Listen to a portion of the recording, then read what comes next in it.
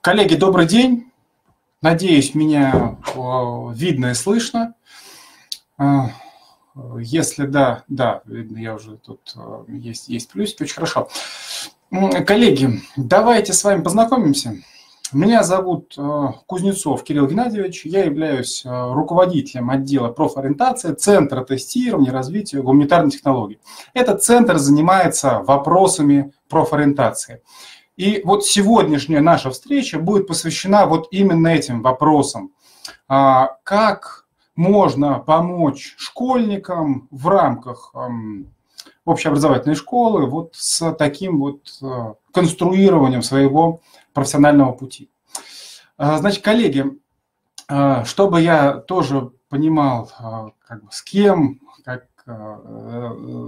кто у нас участники. Может быть, кратенько напишите о себе. Достаточно должность и учреждение. Там, учитель технологии, либо педагог-психолог, либо там учитель какой-то другой, может быть, кто-то еще, а, чтобы я примерно ориентировался, а, понимал.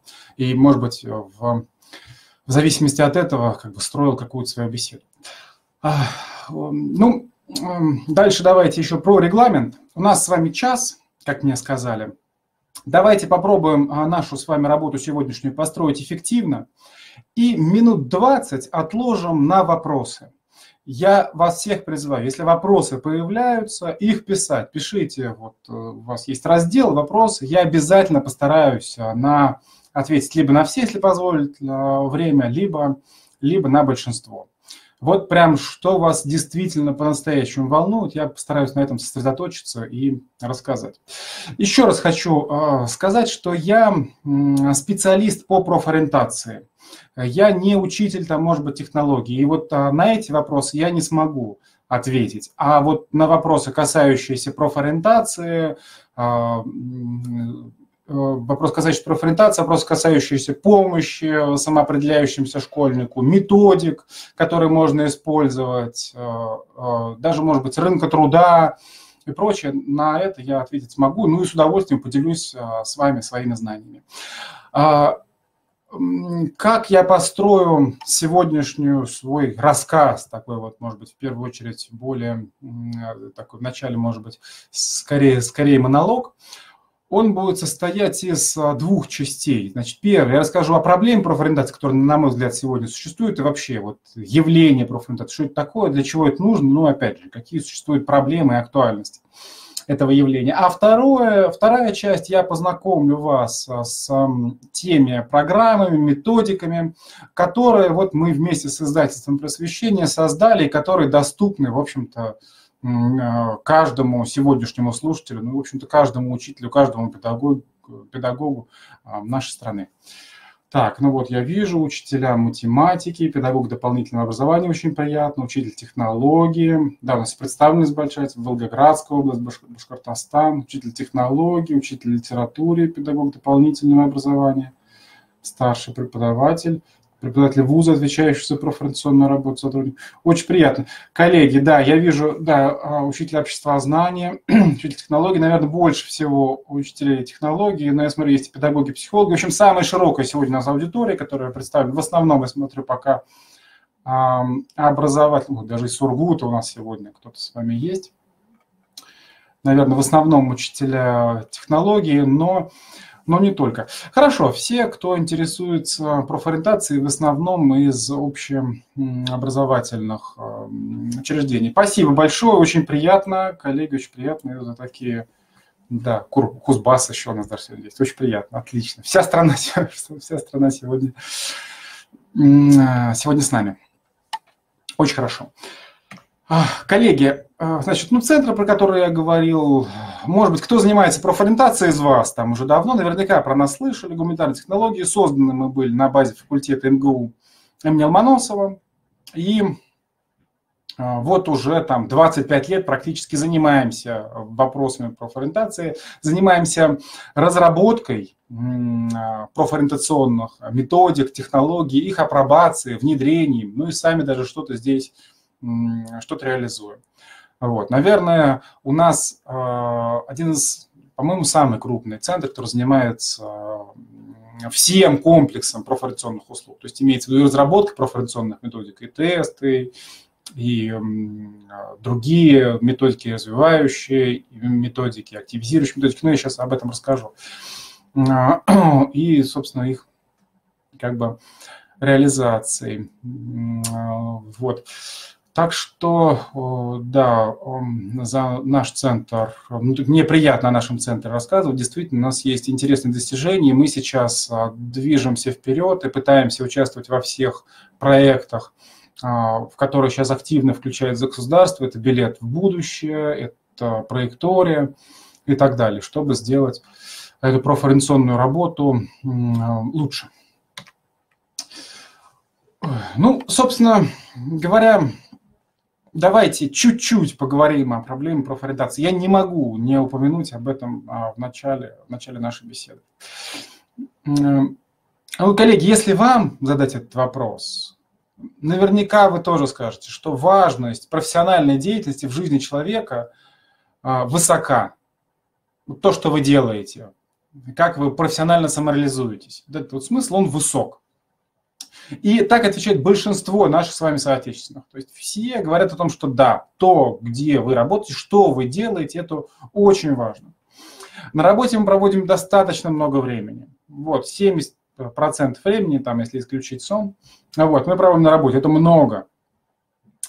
А, при этом, здесь то, что написано, 50% выпускников вузов, ну, если вузы мы говорим, трудоустраиваются не по специальности в первый же год, то есть сразу же после, сразу же после а, от того, как они окончили вуз. Представляете, какая огромная цифра. Это огромная цифра. Огромная цифра. И а если спустя там несколько лет, то, то еще то еще больше. Вот. Здесь, вот в этом факте довольно много проблем. Кстати говоря, когда я спрашиваю родителей или педагогов, мне иногда говорят, что вообще не 50% трудоустраиваются не по специальности, а все 70. Кто-то говорит даже 90, что вообще там после вуза сразу идут куда-то в другое место. Ну, конечно, здесь можно рассказать о том, что профессиональное образование, там с этим проблемы и много других проблем. Но я хочу сфокусироваться на той проблеме, которая существует тоже. Я бы ее назвал а, проблему отложенного выбора. Я не знаю, как с вашими подопечными, я надеюсь, у вас в школах, тех, кто нас сегодня слушает, с этим может быть лучше, но если ориентироваться на данные по стране, которые у нас есть, и мы эту аналитику проводили, то у нас а, процентов, наверное, 75 выбирают вуз или колледж исходя не из каких-то личных мотивов, а, какой-то цели, профессиональной цели, а вот, в общем-то, в некотором, а, в некотором смысле случайным образом, за компанию с друзьями, или потому что там легко учиться, ну, за компанию, за компанию с, друз, с друзьями, понятно, что вот Вася туда идет, а мне куда-то незнакомое место идти страшновато, а вот туда я, а, пожалуй, пойду. Либо туда, куда считают родители, не потому что я так хочу, школьник так хочет, а вот родитель считает, что это перспективно по тем или иным причинам, возможно, даже ошибочно. Вот, ну туда это э, ребята идут. Либо смотрят, мы уже даже шутим, что главный профориентационный тест страны – это ЕГЭ. Вот смотрят баллы, куда попадают, вот туда и, туда и пойдут. Разумеется, все эти факторы мы тоже должны учитывать. И мнение друзей, и мнение родителей, без сомнения. Я вообще сторонник того, чтобы решение принималось а, семейно, коллегиально, вот, но не только одним, одним родителем, понимаете? В общем, вот она проблема профориентации. Сегодня мы ее видим. 75 процентов, ну, примерная такая грубая цифра, это некоторый случайный выбор. И потом приходится довыбирать, перевыбирать. Вот этот отложенный выбор означает то, что а, по-настоящему профессиональное самоопределение становится актуальным для школьников после получения профессионального образования. То есть после того, как они уже получат диплом, а, вот, возможно, даже случайным образом и думают, что с ним делать. И потом либо переобучаться, либо свою профессию как-то трансформировать, либо уже на старших курсах понимают, что это надо как-то дополнять и что-то с этим делать. Ну, я не знаю, кто-то из вас, может быть, скажет, опять же, пишите об этом, если вы об этом считаете, что цифры чересчур пессимистичные, но боюсь, что, боюсь, что они Боюсь, что они таковы. Но, по крайней мере, наша аналитика говорят. Опять же, очень надеюсь, что конкретно в вашем учреждении а, ситуация намного лучше. А, значит, в копилку а, вот этих таких выборов, которые совершены случайным образом, я бы отнес достаточное развитие, к сожалению, псевдонаучных форм профориентации – а вы с ними наверняка встречались. Это широко обсуждается, но все равно этого остается довольно-таки много. А, к этому можно отнести профориентацию по отпечаткам пальцев. Вот. Несколько раз уже доказали мои коллеги из Российской Академии Наук, там есть э, меморандум комиссии по борьбе с лженаукой, и вот там довольно достоверно доказано, что это невозможно определить ваши способности, ваши интересы, ваши личностные черты по отпечатку пальцев. Нет на сегодняшних технологий таких, таких, к сожалению, как бы нам этого не хотелось. И, к сожалению, астрологические прогнозы нам тоже не помогут достаточно много опровержений есть и на эту тему. Сейчас довольно активно а, стала развиваться а, значит, с нейрошлемом профориентация, как бы вроде бы потенциалы головного мозга исследуются, исходя из этого рекомендуются какие-то профессии. К сожалению, на данном этапе это тоже невозможно. А, действительно, есть вот ученый такой Савельев, он морфолог, и он утверждает, что каждая способность она имеет отражение э, в головном э, мозге человека, и это можно увидеть. Но каким образом? То есть на сегодняшний день, только препарировав мозг, разрезав в его на множество деталей, можно исследовать способности человека. И то пока это э, исследования, исследования идут. И уж точно пока что нельзя с таким вот с нейрошлемом, где какой-нибудь там один датчик, к тому же там сухой, как э, говорят специалисты, э, это, это сделать. К сожалению, да, вот такие вот ненаучные формы работы, несмотря на то, что они могут быть где-то и популярны, они не помогут с действительно выбором профессии, а скорее какое-то заблуждение, может быть, могут вас в заблуждение ввести вас, ваших подопечных и родителей, с которыми вы работаем, с которыми мы работаем. Значит, ежели э, говорить о том, все-таки, э, ну, нужна ли профориентация? Ну, нужна. Должна ли она быть научно обоснованной? Должна быть научно обоснованной. Должна ли она быть системной? Разумеется, она должна быть а, разумеется, она должна быть системной.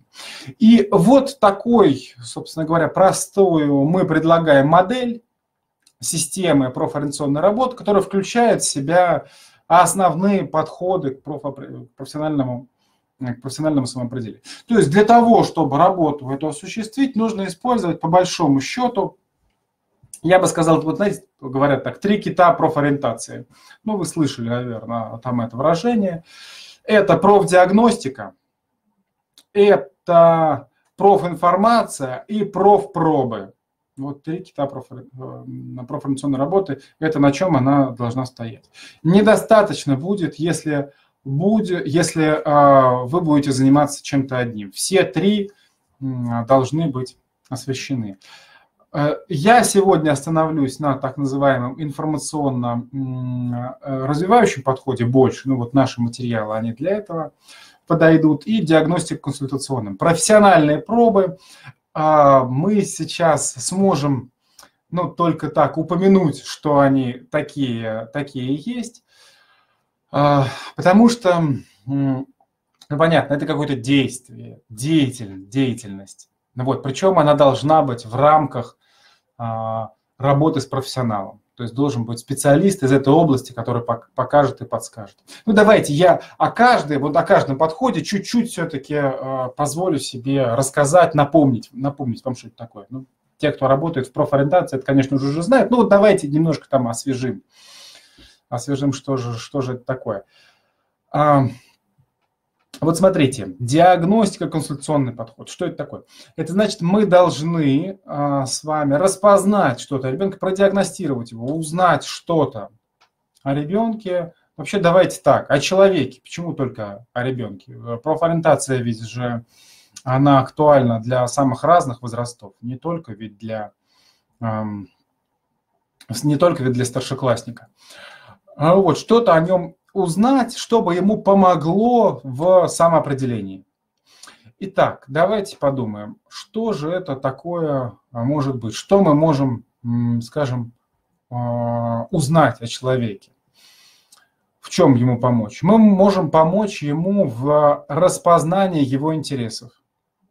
Вы знаете как? Это вроде бы кажется таким простым занятием, а оно, в общем-то, не очень простое. Вот если говорю о взрослом человеке тоже, но о школьнике в первую очередь. Вот ты скажешь ему, что интересно, это не так просто ребенку на этот вопрос ответить. Вот. И у нас те методики, которые есть, в том числе, с которыми я вас сегодня познакомлю, они вот прям направлены ровно, ровно на это. Вот узнать, помочь ребенку сформулировать ответ на этот вопрос, что мне интересно, чем я хочу заниматься. А вот нужно узнать, какие мои мотивы, мои интересы.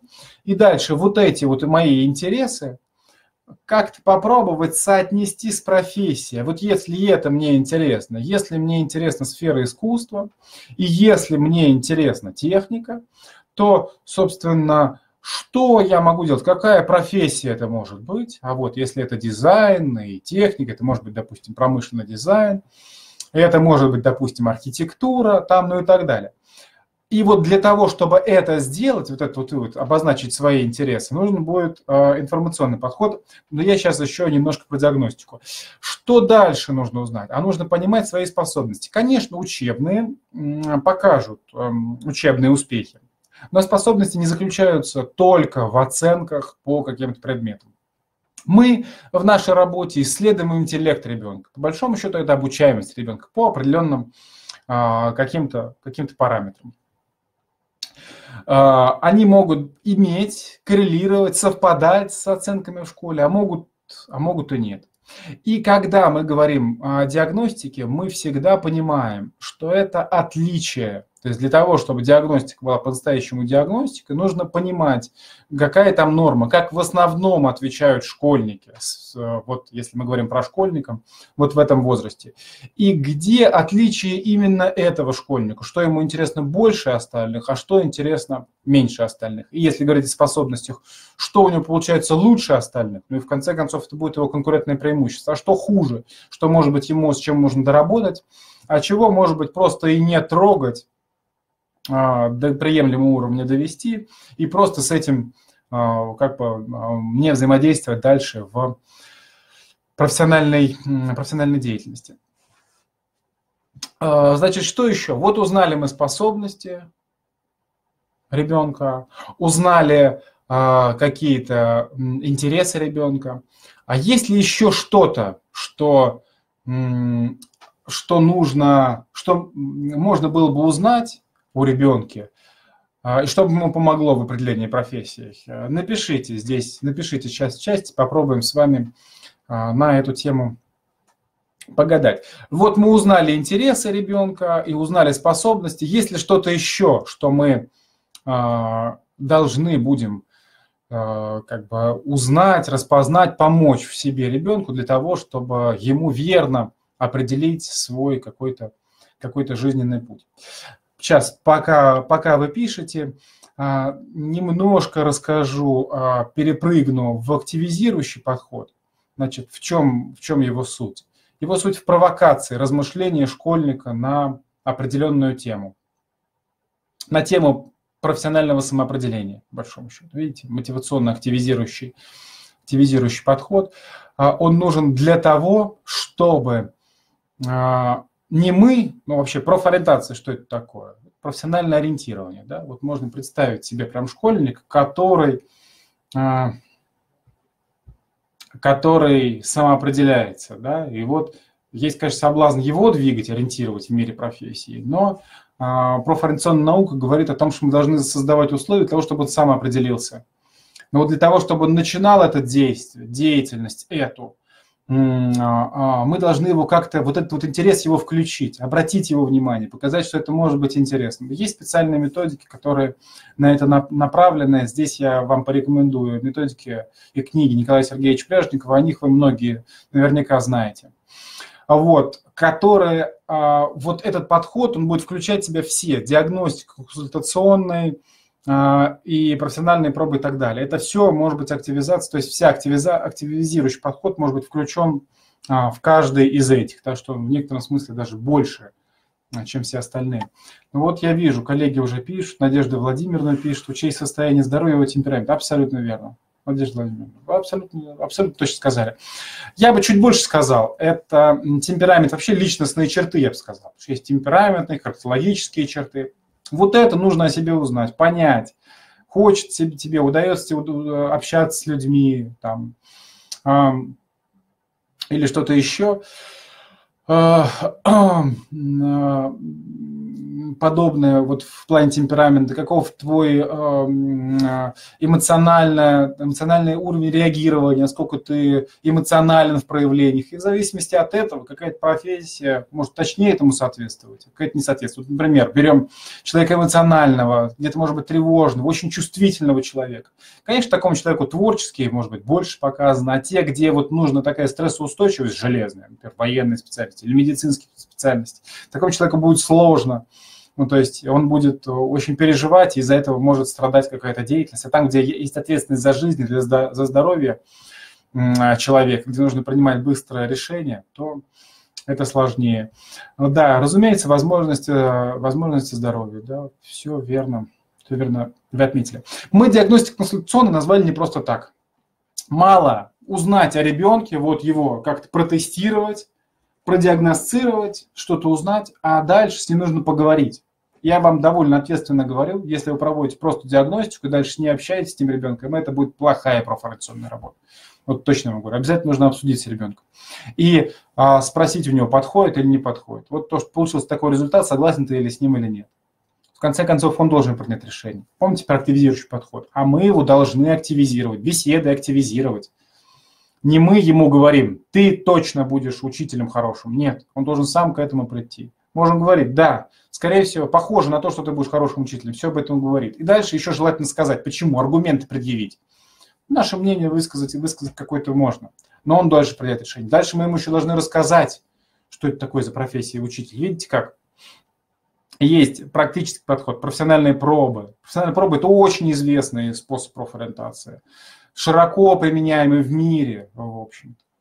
В Японии там а, об этом постоянно, ну, мы об этом часто говорим, Фукуяма тест знаменитый, там все построено на персональных пробах. В Великобритании это есть, в, в Германии есть дуальное образование, так называемое, когда учась в школе, в определенном типе школ, школьники там посещают практику, фактически находятся на предприятии. У нас это было у ПК там раньше. Сейчас это больше в систему доп. образования, переместили. Вот. Но тоже существуют, существуют технопарки в самых разных регионах. И существует много онлайн-школ, онлайн какого-то доп. образования. В общем, возможности сейчас какие-то есть. Это будут не полноценные такие вот именно профессиональные пробы, когда вы находитесь на производстве, но какой-то практикоориентированный подход будет. Дальше перейдем к информационно развивающему. Что здесь важно понимать? А, коллеги, вот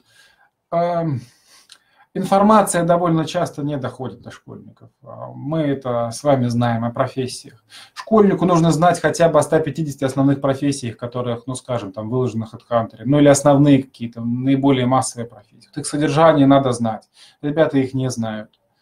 А, вот все, что я проводил, в школах такие эксперименты, спрашивал их, вот не залезая в интернет, никуда назовите мне, сколько сможете профессий в течение там нескольких минут. Ну вот, ну 10, 15, ну может быть 20 профессий называются, но не больше. Но профессий на самом деле больше, а сложно выбрать, если вы не знаете. Вот, э, еще сложнее, еще сложнее а, подобрать под, это, под эти профессии образование, потому что не все профессии, они предполагают какую-то прям вот уже, уже учебную программу, хотя, хотя такие есть. Так что Так что информация должна для ребенка быть донесена, какие-то основные вещи. А, это два компонента информационного подхода. Это первая информация о рынке труда, первое. И второе – это информация о образовании соответствующем, которое можно получить. Чем отличается бакалавриат от магистратуры – чем, а, может быть, прикладное от академического, но это уже может быть тонкости. Ну и учебные программы, чем они отличаются, они могут очень многим отличаться. Ну, чтобы ребенок научился работать в интернете и искать программы, скачивать, соотносить с того, чем будет эм, интересно как бы заниматься. А, вот эта информация, она должна быть в некотором более-менее удобоваримой форме. Коллеги, я вам скажу, что вот просто ее собрать, это уже большая такая огромная задача. Мы ее насколько смогли собрали, ну, я позже там расскажу, расскажу об этом. Но это только вот некоторая часть. И дальше нужно научить каждого школьника, чтобы он эту информацию постоянно а, искал и дальше применял в своем выборе. Ну вот какие-то, скажем так, явки, пароль ему, ему нужно дать и научить работать работать с этой информацией, которая касается его профессионального выбора. Почему это особенно важно? Потому что мир а, профессии это меняется, мир труда меняется. Изо всех динамиков нам с вами говорят, что через 10 лет 30 профессий отомрут. Я не знаю, так ли это так, 10 или там а, через 10 лет 30% отомрет, или 20, там, или 15, но динамика есть, мы это сейчас с вами видим. Постоянно мир меняется. Какие-то профессии вот сами собой отмирают, причем так незаметно, действительно очень незаметно. А вот как-то мы незаметно перешли с вами, да, на... Вот я фотографирую сейчас вообще с помощью телефона. А всего лет 15 назад я, значит, фотографировал на фотоаппарат и фотоателье нес, там мне делали фотографии, я их смотрел. Потом там как-то в альбом вклеил. Сейчас этого уже никто не делает. Ну, и либо очень-очень мало любителей делает. А это какая? Это целое вообще направление подготовки были, целая индустрия была, а, которая сейчас канули в лету, например, фирма Кода. Ну, вы знаете пример. Ну и, и много, много этого. Сейчас, если обер... А, вокруг себя обернуться, вы много чего здесь увидите. А, вот а, есть комментарий, давайте сейчас я его прочитаю. К вопросам я все-таки, если вы не возражаете, вы их пишите, но я верну, к ним перейду в конце нашей с вами беседы, вот на них сосредоточусь. Вот сейчас на комментарий попробую ответить. Так, а, ребенок должен а, поступать туда, а, куда сам захочет, Оксана пишет. Ну, с этим сложно спорить. Для России загранметодики не подходит. А вот с этим бы я поспорил. Опять же, смотря какие. Опять же, что считать, что считать за границей. Если мы говорим о профессиональных пробах, допустим, это метод, который широко используется в мире. И широко используется в России, опять же, и даже в СССР. А, вот опять же, те самые знаменитые УПК. Вообще, там, вот тогда это называлось трудовая проба. Она существовала там в 60-х годах, 70-х годах, в 50-х годах. Ну, там можно спорить про эффективность, но существовала. А, хотя в, акаде... А, в академии, в широком смысле в академии, это принято. Принято считать, что это один из самых эффективных способов профориентации. Но вот заграничными, то есть не заграничные, ну что значит заграничные? Мы люди же, как бы все. У нас есть какой-то, знаете как, и рынок труда становится глобальным. Он перестает локальным быть, вот как, может быть, в Советском Союзе. Да даже тогда он был, а, был глобальным. Какие-то профессии, они все равно были международными. Физика там одна и та же, медицина, в принципе, одна и та же. И был обмен опытом и прочее, и прочее. Поэтому, выбирая профессию, а, а, сейчас школьник, выбирая какое, какое-то дело, и он может рассматривать э, разных работодателей. Я не призываю ни в коем случае там э, за границу куда-то там смотреть на тех работодателей, но рынок труда по-настоящему становится глобальным. И мы привлекаем, и это очень хорошо, я считаю, мы привлекаем специалистов э, за границы. Кто-то а, едет, э, опять же, за рубеж там, что-то пробует, что-то делает, может быть, возвращается назад. Я знаю компании, которые а, работают в России, но заказы у них за рубежом ну, в общем, понимаете, да, он становится глобальным. Какие, какую-то часть, какая-то часть экспорта а, в Российской Федерации это наукоемкие какие-то технологии, которые тоже разрабатываются в России и продаются. Для этого нужно ли знать потребности? Конечно, нужно знать. Вот, и поэтому я бы конечно же, нужно сохранить уникальность того, того что есть, э, это не, не утратить, но за рубеж тоже нужно смотреть и на тот опыт, и все полезное, что там есть, забирать к нам в том числе. Коллеги, прошу прощения, что отвлекся. Вернемся к нашему, к нашему обсуждению. Вот мы с вами поговорили о всех подходах. Для того, чтобы, мое глубокое убеждение, для того, чтобы работа по-настоящему была эффективной, нужно их все использовать.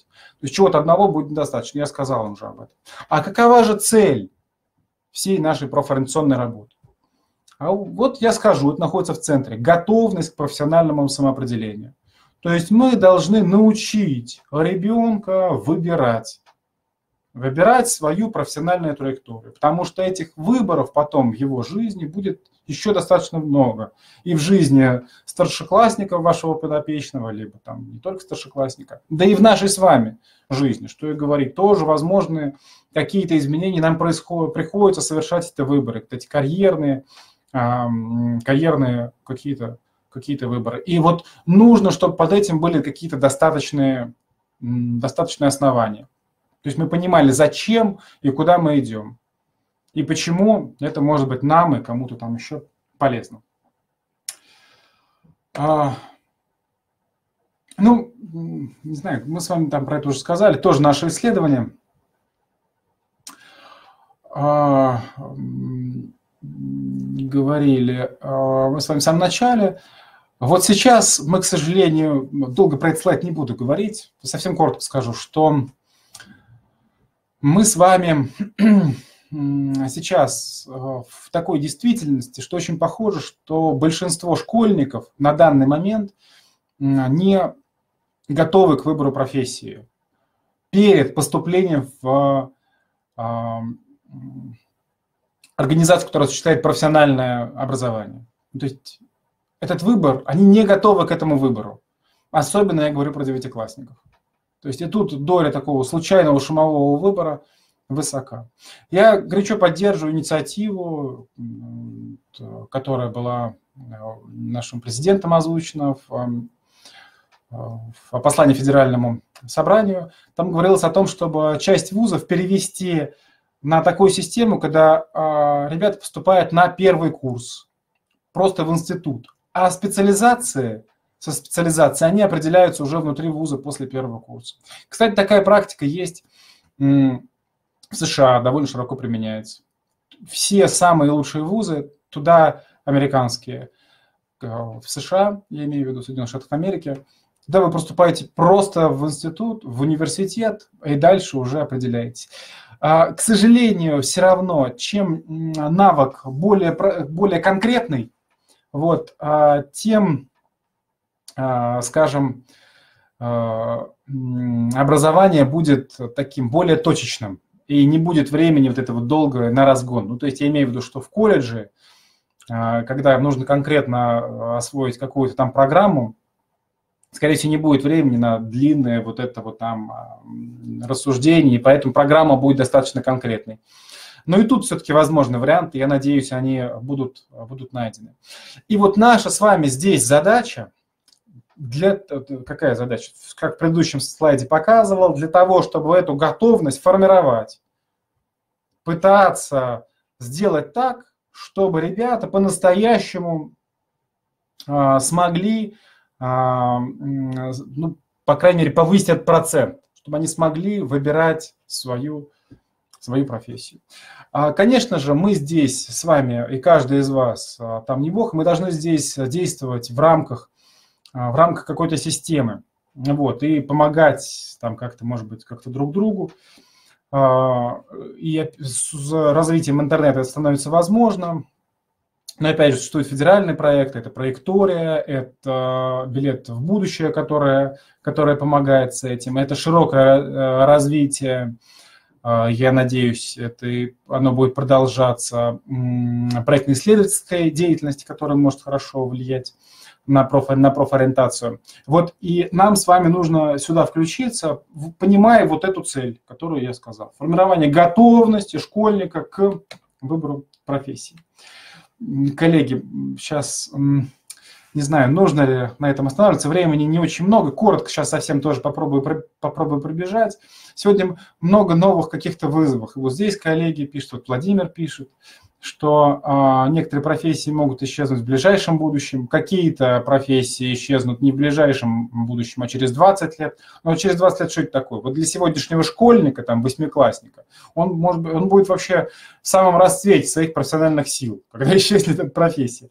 А предсказать, что будет через 20 лет – это очень сложно. Так что вы абсолютно, абсолютно верно говорите. И именно поэтому готовность к выбору, ну и фактически перевыбору профессии. То есть нужно научиться выбирать, работать с информацией, уметь обращаться к себе, знать свои сильные, слабые стороны, интересы, способности, личностные черты, чтобы а, знать, куда обратиться, кстати говоря, может быть, к консультанту, который, э, который с этим поможет. А, знаете, к какому интернет-ресурсу обратиться для того, чтобы вот этот вот а, выбор осуществить верно. А, значит, выбор профессии, вот эта вот профориентация, она актуальна для, в общем-то, всех возрастов, начиная с дошкольного возраста. Вот вы, наверное, там, как бы кто-то из вас усмехнется, скажет там, что ну, это что-то совсем. Конечно, мы не говорим здесь о выборе профессии, мы здесь говорим помните, о готовности к выбору профессии. То есть мы должны а, помогать даже дошкольнику, помните, какая ведущая деятельность дошкольника? Это сюжетно-ролевая игра. И вот он уже отыгрывает, начинает профессии. Кроме того, мы здесь можем узнать какие-то его способности с помощью там, нейропатологической диагностики. Ну, мы это делаем, например. Вот. И узнать какие-то, может быть, вдруг есть какие-то проблемы развития головного мозга идет активно в это время. Сензитивный период для развития интеллектуальных а, интеллектуальных способностей, вот важно здесь ничего не упустить в дошкольном, начальной школе, когда вот активно все это развивается, и вовремя что-то успеть подкорректировать для того, чтобы в будущем профессиональная жизнь не закрывались целые области для профессиональной деятельности, ну, как, скажем, пространственное мышление, ну, либо что-то еще.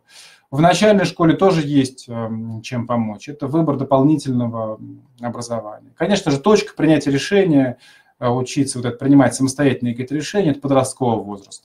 Ну и дальше все самые самостоятельные решения уже принимаются во взрослом возрасте, студентами, взрослыми людьми. Вот а, для которого у нас, кстати говоря, тоже разработаны методики. Но все-таки сфокусируемся на школьниках, на подростках.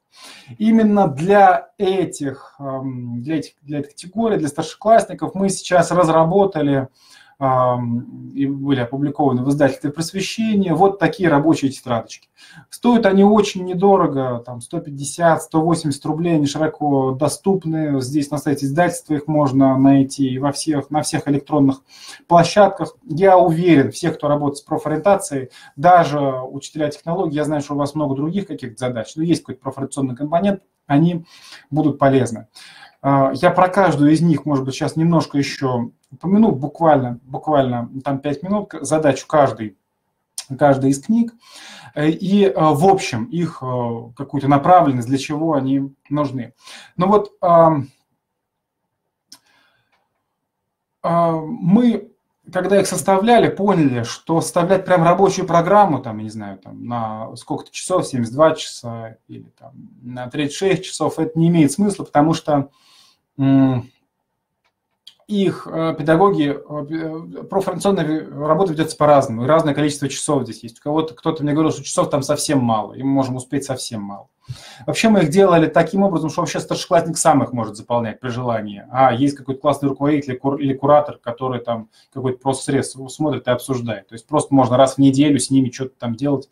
А, вот пришли какое-то занятие, и вот давайте обсудим там, что, что получилось. Ну, как бы те, кто Э, те, кто хочет. Это тоже такая отдельная тема про тех, кто хочет. А те, кто не хочет, что, что им делать. Пряжников, кстати, писал, что это один из самых сложных этических выборов э, профконсультанта. Ну, что делать с теми школьниками, которые отказываются от профориентационной работы? Общее правило для профконсультанта, что мы а, как бы с такими ребятами, ну, то есть не работаем, зачем это нужно. Но в условиях школы это невозможно. Мы каждому должны дать шанс и что-то сделать. Но вот, вот в этих всех тисках мы их разрабатывали, разрабатывали. То есть мы их разрабатывали так, что они точно будут полезны каждому, хотя бы какие-то какие, какие темы. Вот информационные компоненты там есть, которые нужно знать школьника, ну просто нужно знать. Чуть ли не оценки можно даже за это ставить. Просто что означает эта профессия, что означает этот профиль. Вот девятый класс мы прям посвятили профилям обучения. Какие существуют профили обучения? Ну, на, мой, на наш взгляд, какие профили обучения существуют? Их содержание, профессии и возможное образование какое.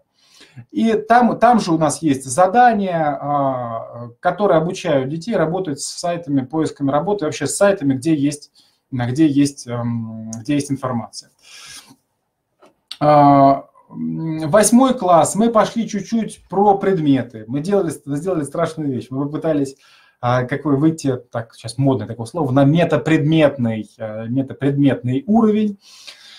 А, значит, и рассмотреть вот каждый предмет школьный, что он может дать в плане профессии. И что оказывается, что каждый предмет может в самых разнообразных профессиях быть полезен. Ну и дальше смотрели, сопоставляли, какой интерес есть к а, к тому или иному учебному предмету, и а, какие способности сопоставить это, и, может быть, даже нарисовать, создать тему проектно-исследовательской работы.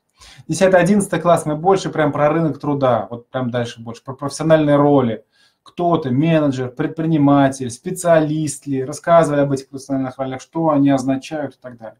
То есть мы создали прям методички такие, может быть, которые там можно использовать. Более того, мы каждый, ну, скорее всего, в этом году напишем методические рекомендации для педагогов. Вот это вот, а, а, вот эти учебные пособия, они больше обращены, обращены школьнику. В первую очередь, ну, для педагогов мы тоже сделаем, это публикуем, и это будет доступно для каждого на, а, на сайте. Значит, а, ну вот цель Петро, тетради способствует профессиональному самоопределению учащихся с помощью тестов, упражнений, заданий, практик. Там у нас есть тесты, мы их разрабатывали, мы их нормировали, тесты хорошие, интересные. Вот, с ними можно будет познакомиться. А, значит, не только тесты есть, задания, практикум. Вот мы все думали, как эти профессиональные пробы попробовать. Ну, в общем, мы там даем задание и говорим а, ребятам, что вот выполните задание и покажите там кому-то. И послушайте его обратную связь. Ну, пытались как-то вот эти профессиональные пробы использовать. Ну вот,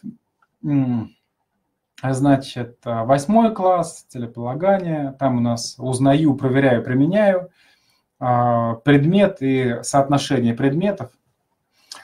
Ну, так сложно. Это надо, конечно, открывать. Здесь есть примеры, примеры заданий. Ну вот, какие там могут быть. А, соотнесение профилей и профессии будущего мы при этом а, там рассматривали. Вот примеры, примеры заданий, ну, чтобы просто понимать. Попробуйте описать, чем именно занимаются представители указанных профессий, где они востребованы. Ну вот, допустим. И брали прям какие-то вот а, профессии, в том числе профессии будущего из атласа профессий, ну, ну, чтобы ребят просто с этим тоже познакомились, не то, чтобы я уверен в том, что эти профессии будут действительно востребованы, и ребятам просто хоть что-то пару слов написать, либо сказать. Вот. И этим я пытаюсь а, школьников, я один из авторов этого пособия, как-то э, подвинуть к тому, чтобы они эти профессии хотя бы знали, чем это занимается, вот этот вот пул, он был бы расширен. А, так, проверяю, у нас есть прям задания, которые нужно выполнять на время. Все они практикоориентированные, ну, то есть, вот, видите, финансовые статьи по финансовым рынкам, журналист взял интервью, ну, дальше вот там а, какие-то задания, а, упражнения и прочее, как применяется, смотреть YouTube-канал, простая наука, смотреть химические опыты, вот, просмотр, ну и, и прочее, прочее. Примеры заданий я вам даю. А, дальше анализируем итоги, то есть у нас к чему-то наш, к чему-то наш приведет, к соотнесению нескольких учебных предметов, которое нас приведет, может быть, и к профилю обучения, и к, а, к теме проектно-исследовательской работы, и, может быть, к тем предметам, которые как-то ребята будут усиливать, к дополнительному образованию. Да, да. ну вот, в общем-то, да, как эти профили будут выглядеть пример вот здесь приведен. Значит, это про девятый класс. Здесь мы взяли парадигму широко известную, вы все ее знаете. Хочу, могу, надо. Вот, то есть каждый профиль обучения, там у нас есть тест, который на интересы и который на способности.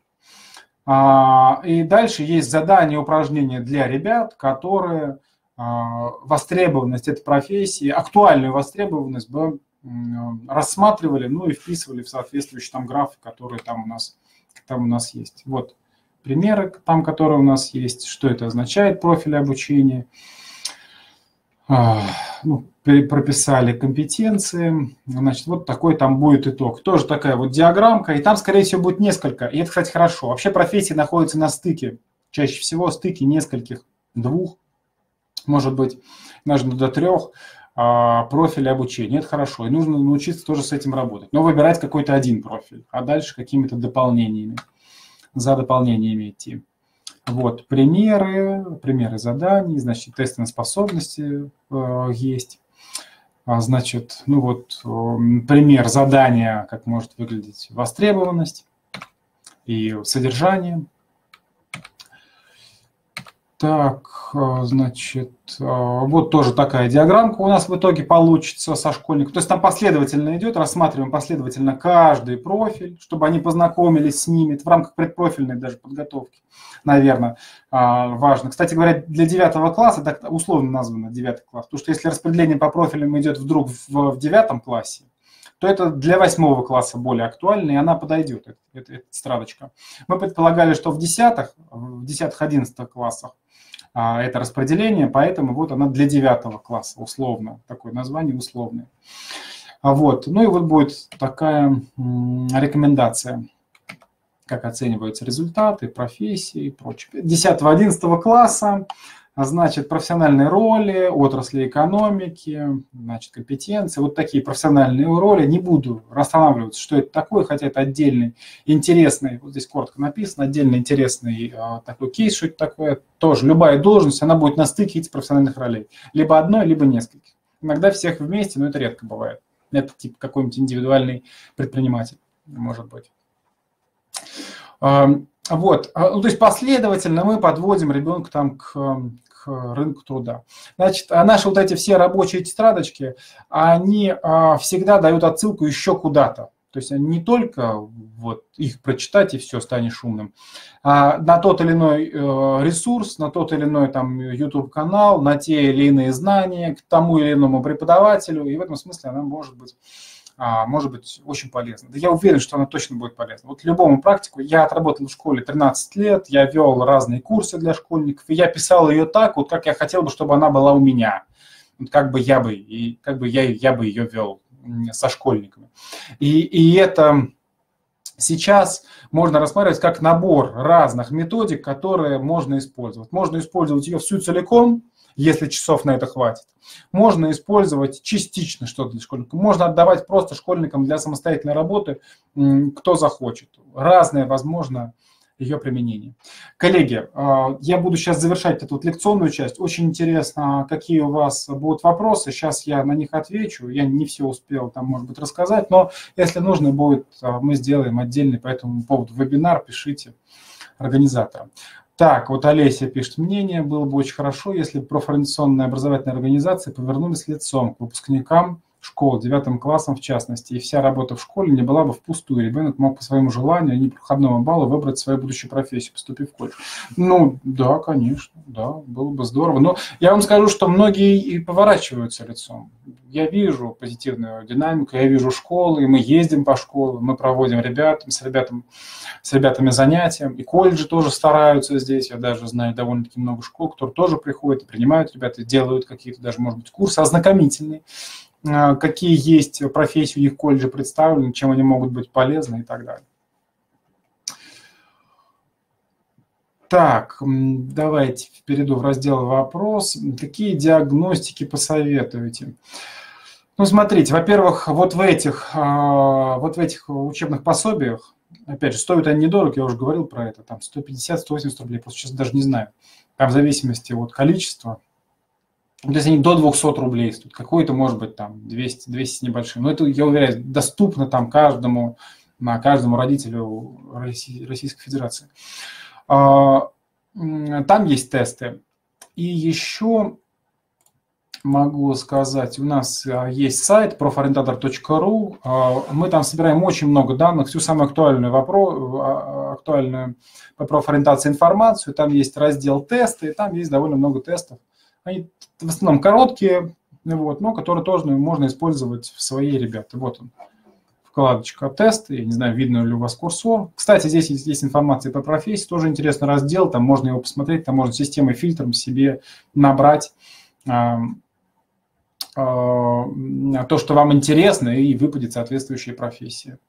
Образование вкладочка тоже довольно интересно. Статьи мы там все публикуем, самое интересное. У нас есть, кстати, подписка там для специалистов. Можно на нее подписываться. И там интересные мероприятия, которые мы тоже а, проводим, посвященные вот рынку труда. Так, а, диагностический материал вы сможете нам предоставить для работы? Ну вот я сказал уже, есть пособия, а, которые, я не знаю, есть в ваших образовательных учреждениях или нету. Насколько я знаю, они могут входить в учебно-методические комплекты и возможно, у них, в, у вас в организации они уже есть. Так, Татьяна спрашивает, что касается профориентационной работы среди обучающих с ВВЗ. Это отдельный большой вопрос и тема отдельного вебинара. Значит, общий смысл здесь такой. А, понимаете как? Там а, в ВВЗ есть своя нозология, и нередко эта нозология, она влияет на диагностику. Вот. Э, и поэтому там специально должны быть э, считаться нормы и специально организована под эту нозологию какая-то профориентационная работа. Мы эти методики тоже разрабатывали. А вот они есть в, в МГСУ, я не знаю, как они сейчас э, в открытом доступе или нет.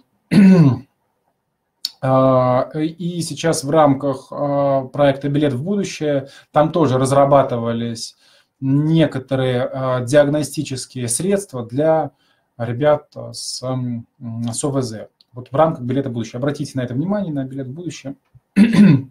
Э, э, там хотя бы что-то есть вот такого, из такого, из доступного, из, из открытого. Э, ну и дальше каждый регион, я знаю, что в некоторых регионах есть своя специальная работа профориентационная с ребятами по ОВЗ. Еще раз повторюсь, эта тема для отдельного вебинара и даже серии вебинара. Это вопрос очень большой и довольно сложный. Так, комментарии, сейчас перейду в комментарии. Так, ну уже благодарности, спасибо, спасибо за материал. Значит, коллеги, вот у нас с вами сейчас 54 минуты. Я еще успею ответить на парочку, парочку вопросов, если они появляются. Да, Татьяна уже ответила, спасибо. Значит, если есть вопрос, пишите, значит, э, я, э, я отвечу э, в комментариях тоже можете писать, что вам показалось а, там интересным, интересным, неинтересным. Комментарии, возможно, тоже как-то на, на них откликнусь. Ну и, наверное, давайте я в заключение, там, может быть, таких несколько, а, буквально несколько слов скажу, а, таких оптимистичных. Вы знаете как, вот еще буквально лет 10 назад я давно в профориентации, с 99 -го года, ну, больше 20 лет уже. А, я бы сказал, что вот системы профориентации нету, сейчас вообще с этим как все очень сложно, и преподавателям очень сложно в школах, и школе очень сложно самой построить профориентационную работу, такую полноценную, настоящую, потому что методики надо откуда-то брать, программы надо откуда-то брать, какие-то из них хорошие, какие-то из них там не очень. Вот, и рынок труда настолько меняющийся, информация там не всегда хорошо там систематизирована. И вот сегодня я вижу очертания уже системы профориентации, что она постепенно начинает складываться. Вот появляются вот такие вот, вот мы в этом участвуем. Я очень рад э, и в этом принимать участие. Создаем вот такие вот брошюрки, которые помогают. Есть такие уже, появляются федеральные программы, проект, который в помощь учителям. Вот. А, и всем, кто интересуется профориентацией. Появляется много вебинаров бесплатно, где можно, можно пообщаться на эту тему, ну и как-то э, проблемы какие-то обсудить и сделать, продвинуться э, в этом плане сделать свою какую-то работу более эффективной. Так что я с оптимизмом смотрю в будущее. Надеюсь, мы с вами еще там не раз, не раз встретимся, и вы расскажете, что получается у вас, что не получается. Мы подкорректируем, может быть, наши рабочие тетрадки в следующих изданиях и сделаем их еще лучше. Так, посмотрим вопросы. А, значит, вот есть Талисия. Было бы очень хорошо, если бы проф ориентационной образовательной организации, да, а, профориентационная образовательная организация.